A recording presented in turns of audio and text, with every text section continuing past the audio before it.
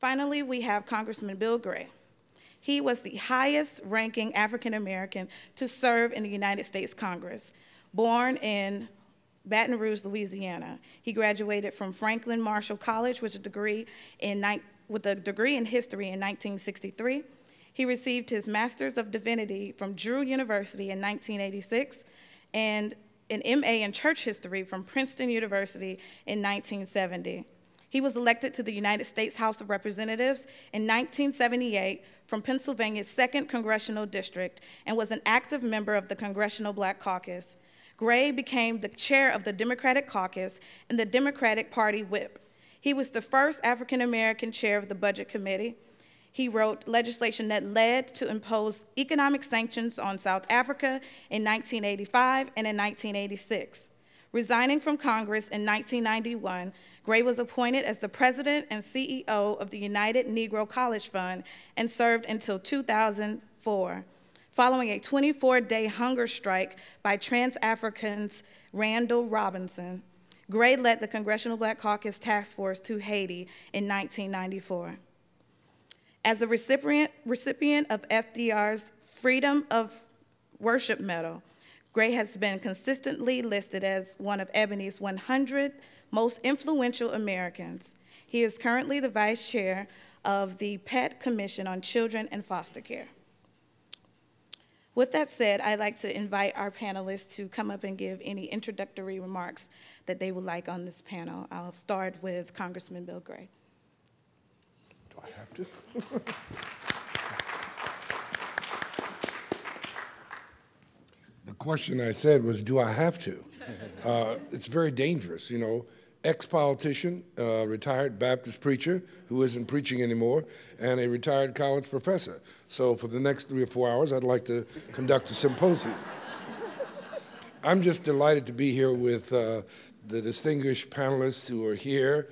Uh, I leaned over and uh, whispered uh, to Kurt Schmoke uh, when she said Howard University Law School, where he wished he had gone. Uh, but I'm a great admirer of Kurt and, of course, a colleague uh, who worked with the Black Caucus and many of the Black Caucus members. I'm delighted to be with her, too. Uh, I think that if you look back and look at 1980s and what we call the Reagan years, they were probably the most formative years, in my opinion, for the Congressional Black Caucus. Formative in the sense that prior to that period, the Black Caucus had been generally a group of about five to 10, got up to about 12, 14 African American members who saw themselves as spokespersons not only for their congressional district, uh, but for all African Americans in the United States. And so we often was, we were characterized as a civil rights group. Uh, in the 1980s, I think we evolved into what I call a broader reach and a broader perspective uh, in not only terms of representation of the needs of African Americans, but we expanded to about uh, 23 uh, members, and we started to move into areas uh, like uh, the budget of the United States, uh, a heavy involvement in foreign policy, especially in those areas where U.S. foreign policy had been negligent and uh, those areas had been forgotten. And so I would describe the Reagan years as a formative period at a transition period where the Congressional Black Caucus uh, moved beyond its original uh, definition of representing the interests of African Americans, but also getting involved in economic issues and also foreign policy issues, but also bringing a unique perspective of the African American experience. And so that is, those are my few short comments.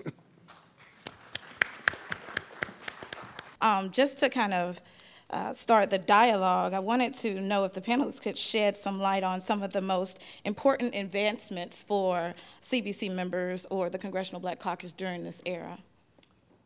Well, I'll, I'll take a shot uh, because I, I, said it was a watershed. Mm -hmm. Before the 80s, the caucus was primarily a group, a small group of African American members, usually out of the civil rights era. Uh, they were civil rights leaders or labor leaders of some kind. Not too many of them had prior elected experience.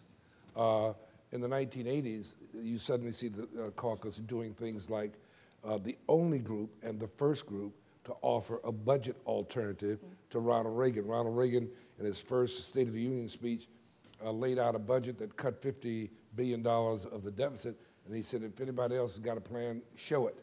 The only group that year to show it was the Congressional Black Caucus, led by Walter Fauntroy, who was at that time uh, chairman of the Black Caucus. We presented an alternative uh, budget, and every year since then, in fact, they still do it today, present an alternative uh, budget.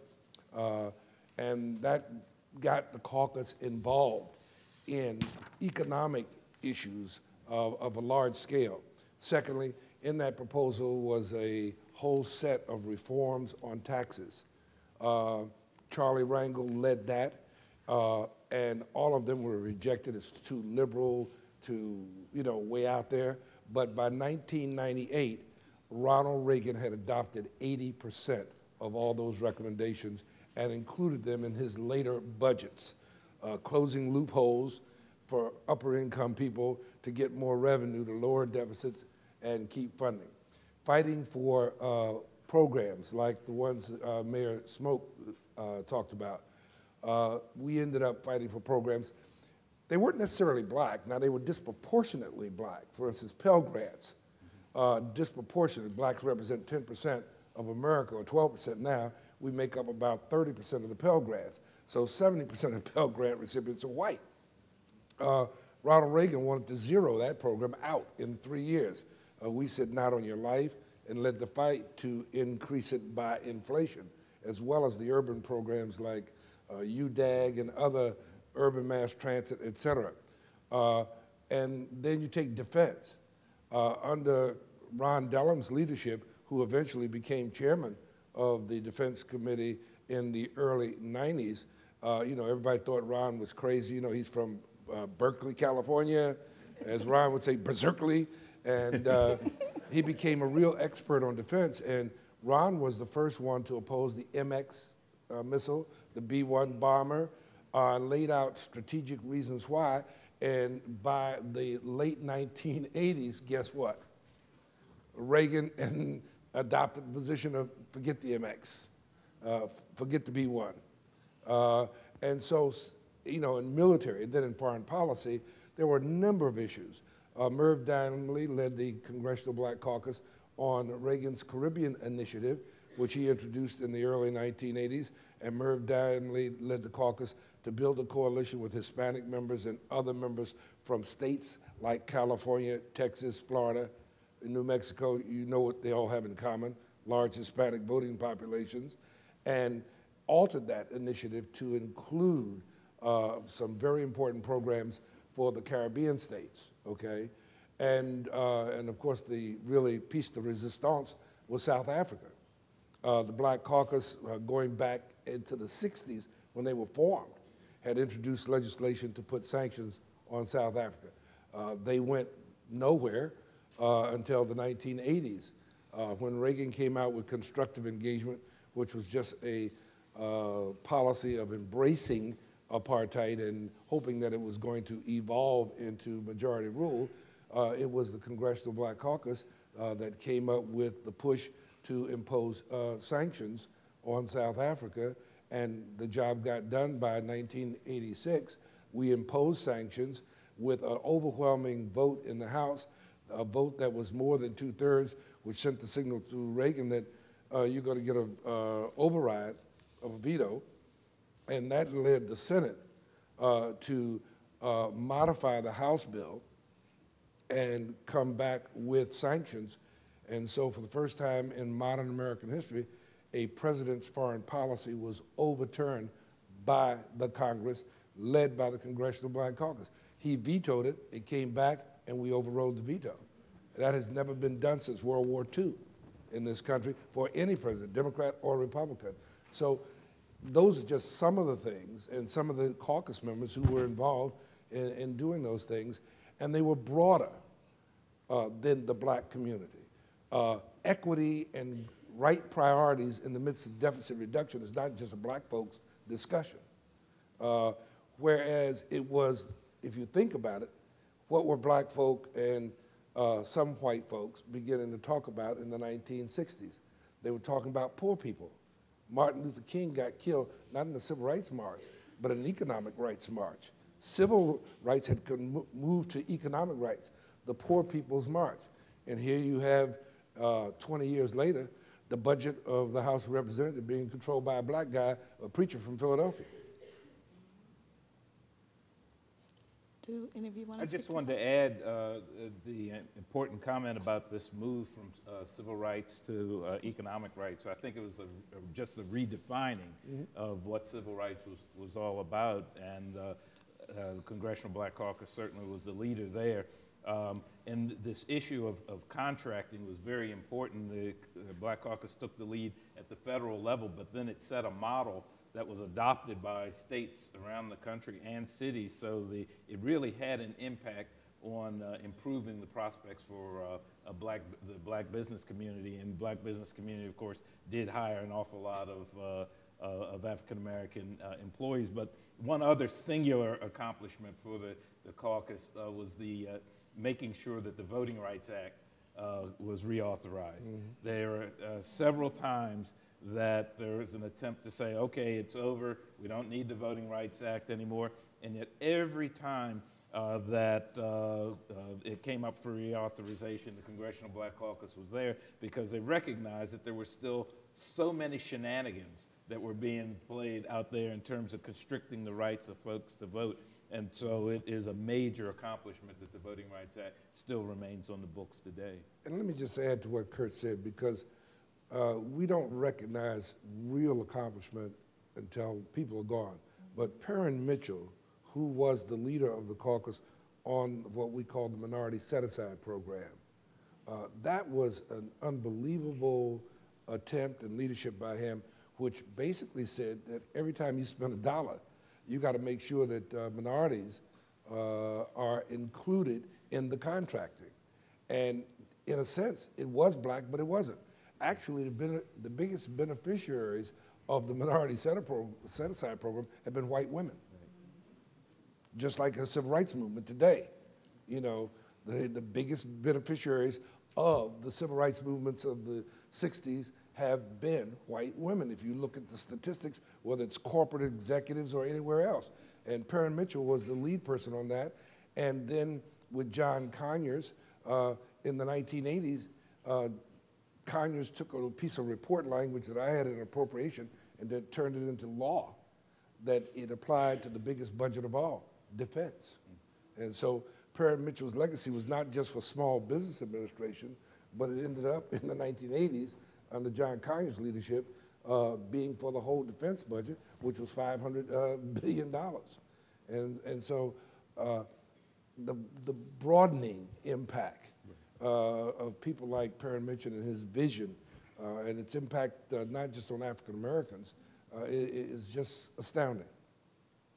Well, we definitely want to make sure that the audience is able to ask questions. So I believe that you all have index cards or, oh, we have a couple of questions, so I'll take those.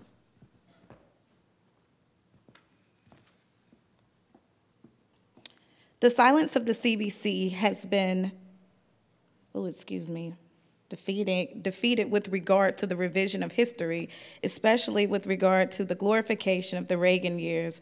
Why has the CBC been quiet or absent in this debate, given that the negative role the negative role that Reagan played in the liberation of countries like South Africa? Uh, you know, Reagan and I had to interface with him on a daily basis. As chairman of the budget committee, uh, I had to uh, oppose his budgets, his priorities, and every month he had me down to the White House for breakfast and lunch, you know, uh, just the two of us uh, with his chief of staff and the budget chairman from the Senate, who was Republican, uh, Pete Domenici. Um, from a human standpoint, he was very interesting, entertaining, and um, engaging personality. But from a policy standpoint, and particularly if you were coming from an African American standpoint, he was an absolute disaster. and, and Kurt just reminded me of a story uh, about him, uh, which you know, reminds me of other stories that I had in my experience. Like one day we were meeting with him, and he was arguing for a big foreign affairs uh, budget. I was on the foreign affairs uh, committee, and uh, he talked about one day when I was flying down to Camp David, I looked out the helicopter and I saw all these cattle ponds. He said, "You know what cattle ponds are? Those are government subsidized watering holes for cattle." Everybody looked at each other. Kurt, you know, we went, "Huh?"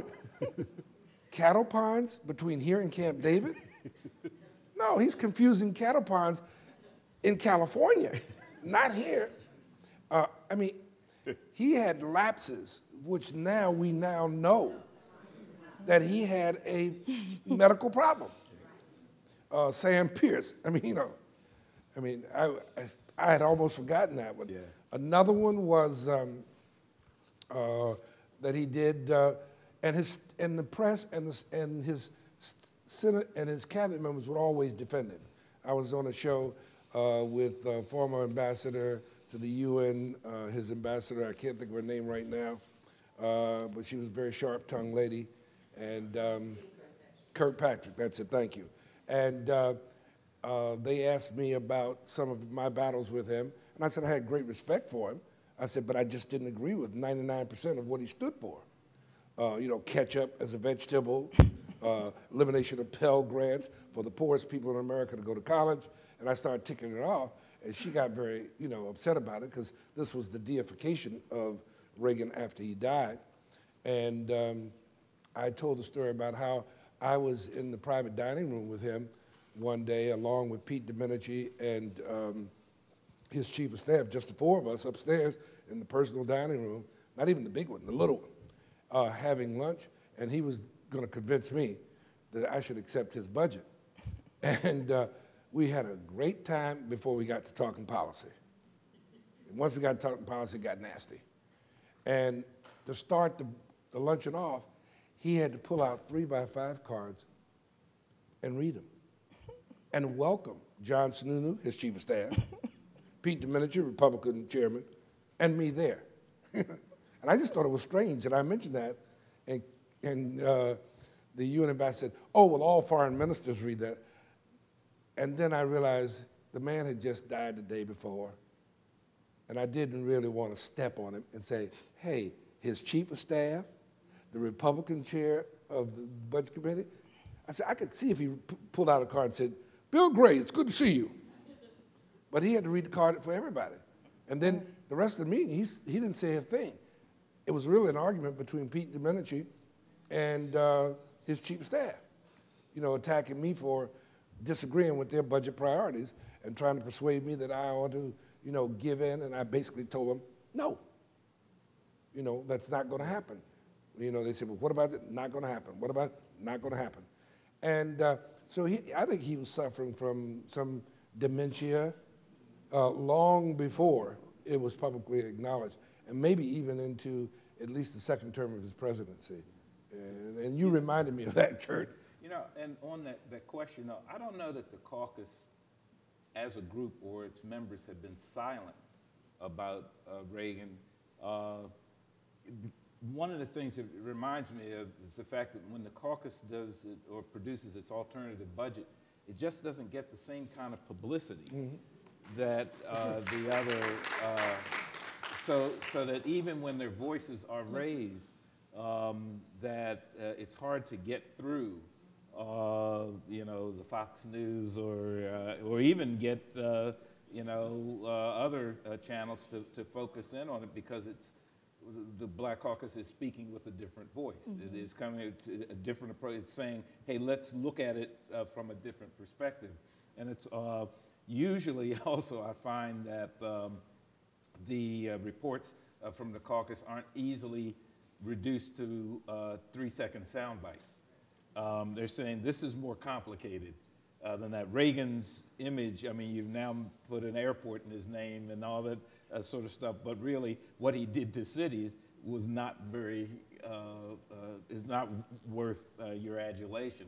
That's a tough sell. So I, I think that, that the caucus has raised this individually and collectively, but it's just been very difficult to get through uh, uh, the, the, the, the controllers of the media. I think you're absolutely right. The caucus challenged him for every step of the way during his eight years of presidency. It was not always covered, but when you reverse a president's foreign policy, when you reverse his defense policy, okay, when you reverse his civil rights policy by renewing the Voting Rights Act when he and his party was against that, okay, uh, when you change budget priorities and say ketchup is not a vegetable, you're not going to close down Pell Grants for the poorest kids in America, white and black, to get an education. I don't know what else you're doing. You, you basically are taking a baseball bat and busting him side his head. Right. And he's bleeding. Now, the problem, as Kurt Schmoke says, is sometimes the media doesn't cover it. I, you know, and, and, and why? Because we are who we are. I mean, um, I'll be candid about it. I remember when I was on, I was doing a television show in September of uh, 1984. I had been vice chairman of the Black Caucus, secretary of the caucus. Uh, I had been head of the steering and policy, which is your freshman class. And two reporters said, Mr. Gray, what are you going to do next? And I didn't say I'm going to Disney World. I said, I think I'm going to run for chairman of the budget committee. They both broke out laughing on national television. Wow. Four months later, I was the budget chair. and, and, and, as my colleague here said, uh, I mean, it was a team effort. You know, uh, the Black Caucus, the staffs, all lobbying, knocking on doors, uh, but they just didn't believe it. In fact, in when I got elected, which was the first week of December, here was a black liberal, okay, who had only been in Congress six years, going to be chairman of the Budget Committee, dealing with economic policy, not civil rights. Right. Uh, the press wrote. They could not believe I won the election. Uh, so what they wrote was, I won because Tip O'Neill wanted me to win. and Tip O'Neill never lifted a finger, you know. But they, that, if you go back and dig out the press, how did this guy do it? He had the secret support of Tip O'Neill. And Tip O'Neill stayed out of the race. It was three people running, Leon Panetta, uh, Bill Gray, and a guy named Jim Jones, who was the previous chairman from Oklahoma, who later became ambassador to Mexico.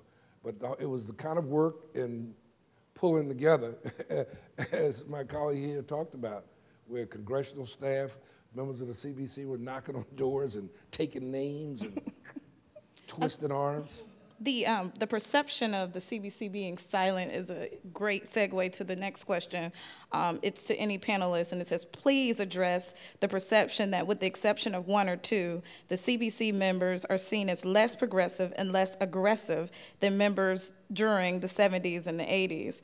Um, if you can speak to this phenomenon or this idea, we'd appreciate it. Well, first of all, I don't think that's, a, that's not quite accurate. Okay. I'll start by saying that. First of all, I talked about those 650,000 constituents and the people who elect you. When you come to Washington, your first priority is to represent your constituents. And then you find common ground where you can work for the, for the good of everybody. Now, since I came to work in the Congress or to, and to Washington, D.C., I don't think the CBC has ever been silent or less aggressive than anything. Sometimes you have to bring common interests together.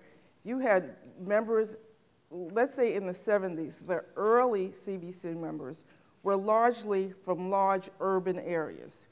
Then when you had the, with the Voting Rights Act and the increase in CBC members, you had members from rural areas, rural districts.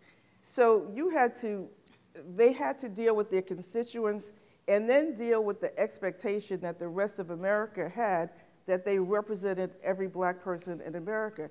And then there's the press.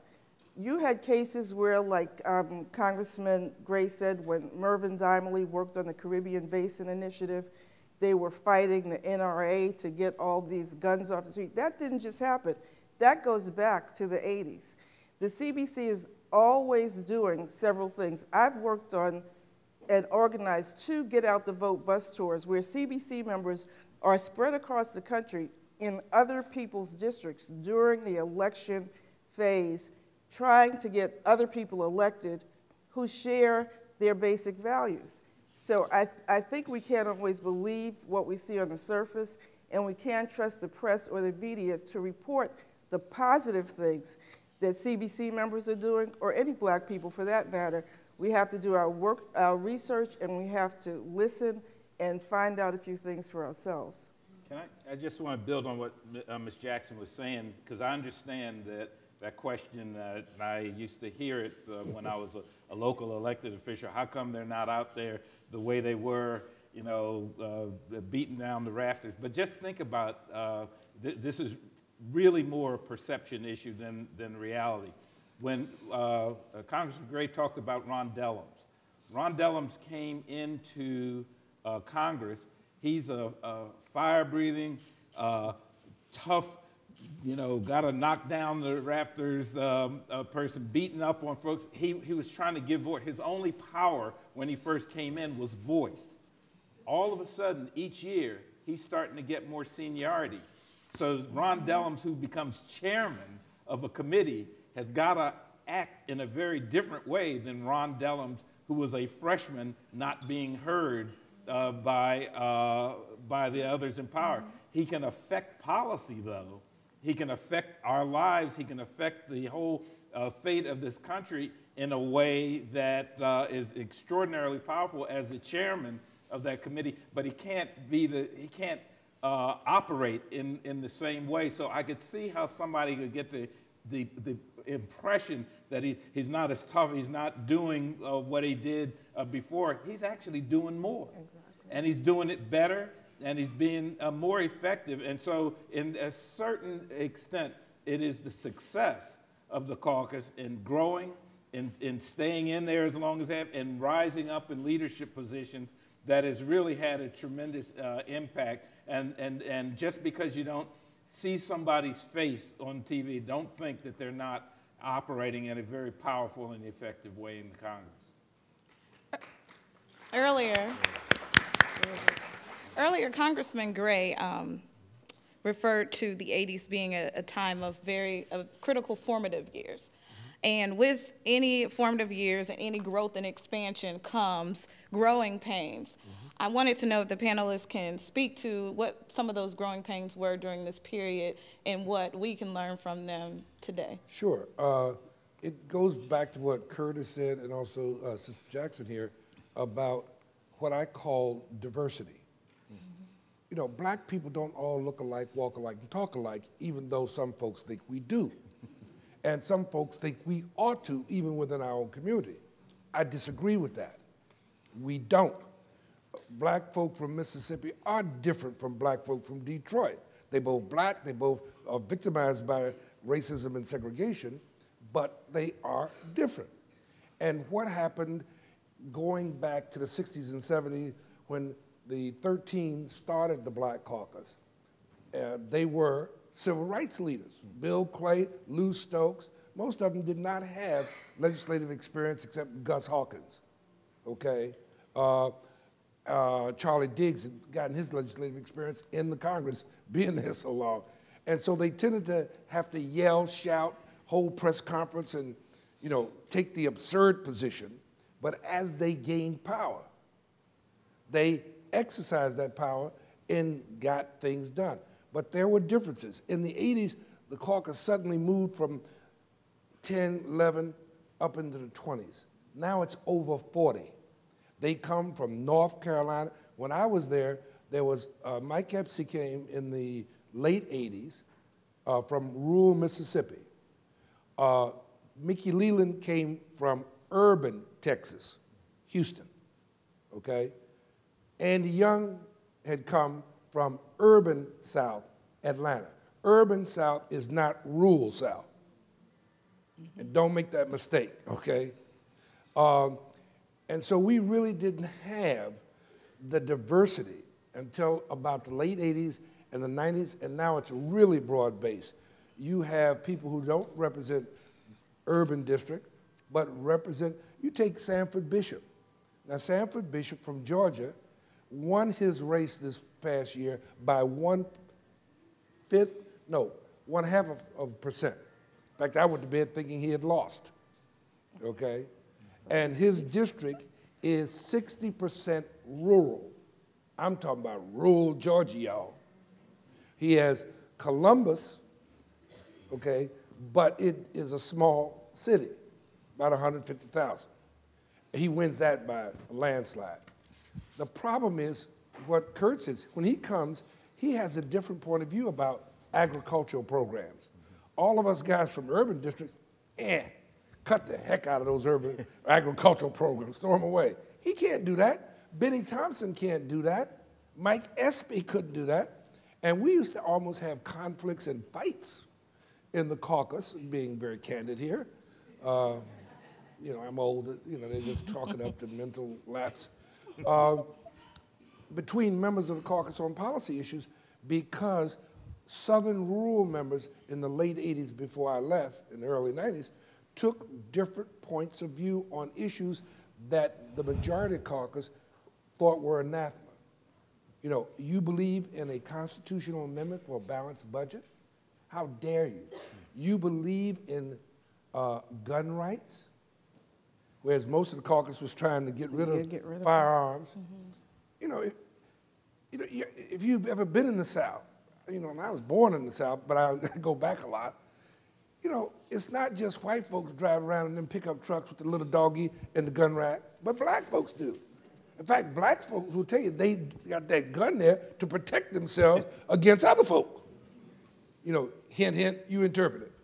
So, you know, you had these black congressmen who suddenly came who were for the NRA.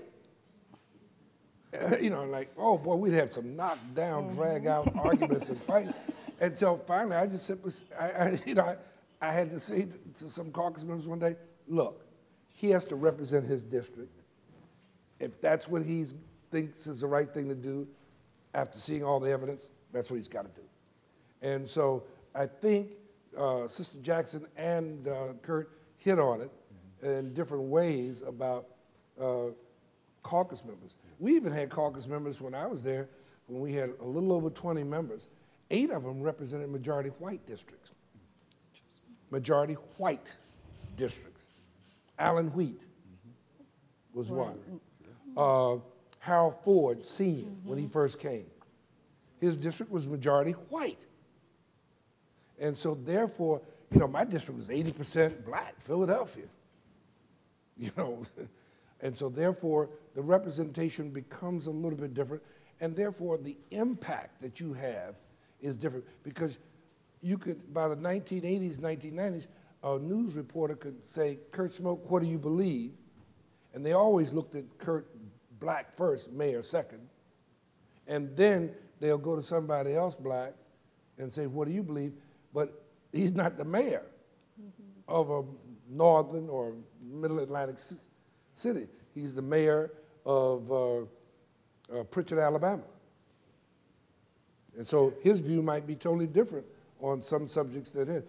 And, and so we've gained, we've gained over 40 black members of the caucus, but we've gained a rich, and I call it rich, diversity of viewpoints, uh, which I don't think weakens the caucus. I think it ultimately strengthens because you really argue and get down to the core of what's really important.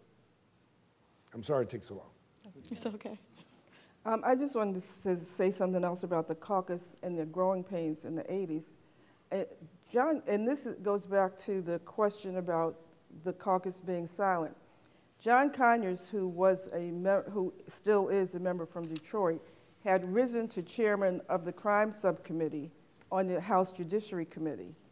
In New York, there were reports of s- serious cases of police brutality and a lot of people getting uh, killed by police in nonviolent events. John Conyers started a committee called the International Harlem Renaissance Committee. And he said he called the committee that because Harlem was the, was the capital of the world for all black people. And this committee met with volunteers, some staffers, in the basement of churches in New York City. And John Conyers called in the people to hear their stories about the brutality. He had he used his position at, on the crime subcommittee to have a hearing, and people were wrapped around an armory for blocks in Manhattan on that day to come into John Conyers in that committee and tell their story. Well, as a result of those hearings, New York City got their first black police commissioner. Mm-hmm. And that is not in any history books, was never in the papers, but I always tell people John Conyers was responsible for that. John Conyers also gathered up a group of us staffers and anybody else who would come when Harold Washington was running for mayor of Chicago. You had to call your relatives all over the country who were in Chicago to vote for Harold Washington. You had to um, get on a bus or whatever mode of transportation and get into Chicago and knock, knock on doors and ring bells with Conyers. Well, what happened, Harold Washington was elected the first black mayor of Chicago. And a third project he had was getting the Martin Luther King holiday bill. And that was another thing. He said, these white senators and white congressmen who are not voting for it, if you have members of your family living in the South, get them together and tell them to write these people and call these people and tell them you're not voting for them anymore if they don't vote for the bill. So I just tell these little stories to say there, and, and that's only a few cases that I personally know. I'm sure there are a multitude of others that people aren't telling. I remember there one last thing I want to say, and this is since Congressman Payne just came in and he's the mm-hmm. chairman of the foundation.